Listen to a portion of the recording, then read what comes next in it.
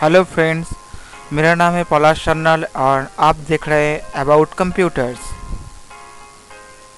मेरे इस चैनल पे आपको लेटेस्ट वीडियोस मिलेंगे सर्वर के बारे में नेटवर्किंग के बारे में और इस बहुत सारे टेक्निकल रिव्यूज़ भी आप देख सकते हैं। तो अगर आपको मेरा वीडियोस पसंद आ रहा है तो आप प्लीज़ लाइक्स और कमेंट्स करना मत भूलिएगा।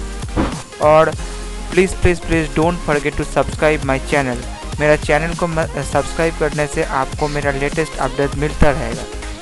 तो और एक बात दोस्तों, अगर मेरा वीडियोस के बारे में आपका कोई क्वेरीज हो और आप कुछ भी जानना चाहते हो इस मेरा इस कोई भी वीडियो के बारे में तो आप मेरा इस मेल आईडी पे मेल कर सकते हैं।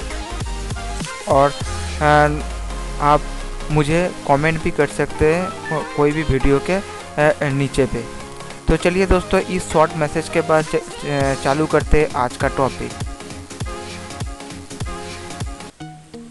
हेलो फ्रेंड्स मेरा नाम है पलाश चन्नल और आप देख रहे हैं अबाउट कंप्यूटर आज के इस और टॉपिक में हम आपको दिखाएँगे कि कैसे आप पब्लिक अपना पब्लिक जो आईपी है पब्लिक आईपी को कैसे चेंज कर सकते हैं। तो इसके लिए सबसे पहले हम चलते हैं। देखिए, हम गूगल को ओपन कर रहे हैं तो यहाँ पे आपका जो साइट दिख रहा है, देखिए, ये इंडिया का साइट है।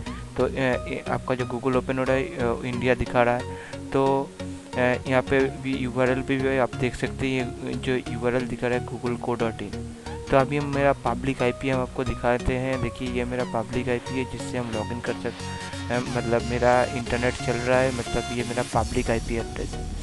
तो आप चाहते हैं कि आप अपना पब्लिक आईपी को चेंज करने के लिए तो इसके लिए बहुत सारा सॉफ्टवेयर आपको मिल जाएगा जिससे आप अपना पब्लिक आईपी को चेंज करते, कर सकते हैं। तो इसके लिए आपको वी का टनल भी यूज़ कर सकते हैं। तो अभी देखिए, मैं एक सॉफ्टवेयर यूज़ कर रहा हूँ यहाँ पे। अभी मेरा इस ड्राइव में ये सॉफ्टवेयर है प्राइवेट टनल बोल के एक सॉफ्टवेयर जिसमें आपको क्या करना होगा कि एक यूज़र आईडी बनाना होगा, उस यूज़र आईडी पासवर्ड से आप अपना पब्लिक आईपी को चेंज कर सकते हो। तो सबसे पहले इसको इंस्टॉल करते हैं। तो देखिए ये इंस्टॉल हो रहा है। और ये इंस्टॉल होने के बाद आपको क्या करना होगा? कोई इसका आ, आ, आपका रजिस्टर करना होगा इसका साइट में जाके। तो ये मेरा प्राइवेट चैनल इसको हम स्टार्ट कर रहे हैं अभी।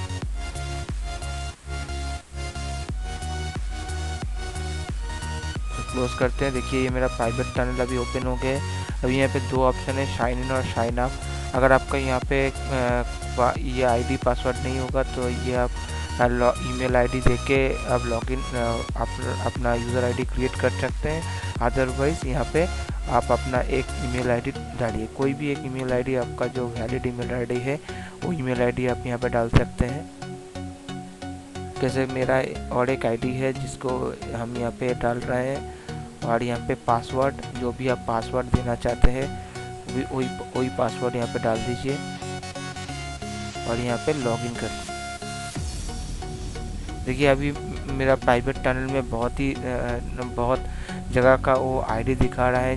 कहीं पे भी आप आईडी दे के आप इसको लॉगिन कर सकते हैं। देखिए, अभी मेरा प्राइवेट टनल और वीपीएन में कनेक्ट हो रहा है। वो आईपी देखिए, एक आईपी मिल गया जो 5.152.200.197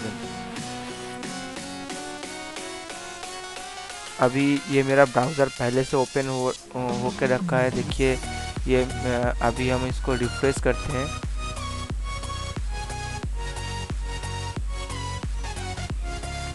देखिए, फिर भी हमको वही आईपी दिखा रहा है। क्योंकि मेरा जो ब्राउज़र है, वो ब्राउज़र पहले का सेशन अभी भी पकड़ा हुआ है। इसलिए देखिए, अभी भी वो ओपन हो रहा है गूगल इंडिया से मतलब वो इंडिया का सर्वर से ओपन हो रहा है। अभी हम प्राइवेट टर्न को थोड़ा क्लोज करते हैं और दूसरा किसी मतलब वहाँ पे बहुत सारा टनल का आईपी दिखा रहा है तो हम दूसरा किसी आईपी से ओपन करने की कोशिश कर रहे हैं। तो इसके लिए देखिए कभी कभी ये प्रॉब्लम होता है तो इसके लिए डिस्कनेक्ट कर सकते हैं। आप इसको डिसकनेक्ट करके और दूसरा कोई जो कंट्री दिखा रहा है, उसका टनल से आप, देखिए, ये मेरा ब्राउज़र है। इस ब्राउज़र को पहले हम साइन आउट कर देते हैं और इसको क्लोज करते हैं।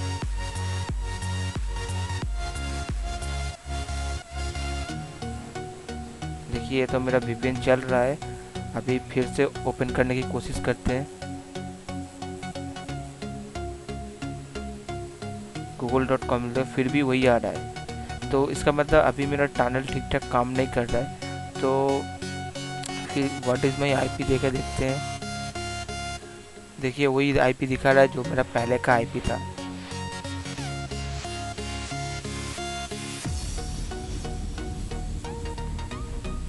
तो इसके लिए आपको क्या करना होगा दोस्तों, अगर उस आईपी से आपको नहीं मिलेगा तो देखिए हम दूसरा किसी से कनेक्ट कर लीजिएगा। वहाँ पे बहुत सारा कंट्री का नेम दिया हुआ है। तो अभी देखिए हम गूगल डॉट कॉम लिखेंगे तो देखिए ये दूसरा किसी स्टेट का आईपी दिखा रहा है। देखिए हम स्वीडन का आईपी से कनेक्ट कर लिए। देखिए ये मेरा स्वीडन का आईपी दिखा रहा है।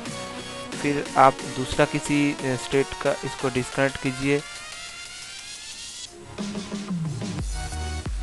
देखिए, ये स्वीडन दिखा रहा है। अभी हम और दूसरा के, जैसे जर्मनी का आईपी से कनेक्ट करते हैं।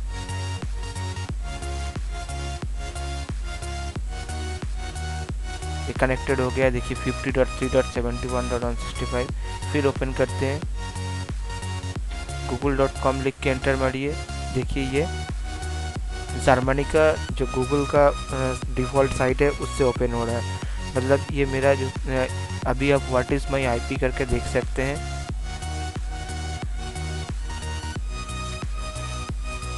और यहाँ पे कोई भी एक साइट हम ओपन करते हैं। देखिए योर आईपी एड्रेस यहाँ पे दिखा रहा है। जो मेरा आईपी एड्रेस यहाँ पे दिख रहा है fifty dot three dot seventy one dot one sixty five इस तरह से आप अपना प्राइवेट पब्लिक आईपी को चेंज कर सकते हैं थ्रू वीपीएन या कोई भी प्राइवेट टनल की तरह। तो दोस्तों, आशा करता हूँ आपको मेरा वीडियो पसंद आया हो। आप, अगर आपको मेरा वीडियो पसंद आया तो आप मेरा फेस यूट्यूब पेज को सब्सक्राइब करना मत भूलिएगा और मेरा फेसबुक पेज को भी लाइक करना मत भूलिएगा। तो दोस्तों, इस वीडियो के लिए इतना ही। Thanks for watching.